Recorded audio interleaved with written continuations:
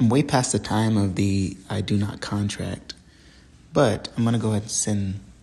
Uh, I'm compiling my stuff right now. I have my birth certificate, which here's here's who it belongs to: the state of California.